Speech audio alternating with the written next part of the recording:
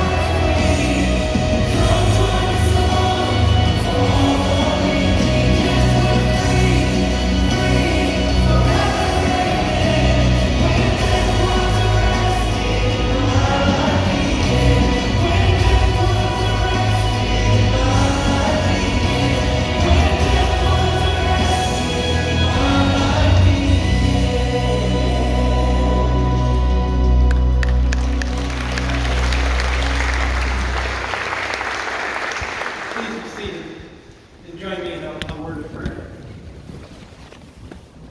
God, bless.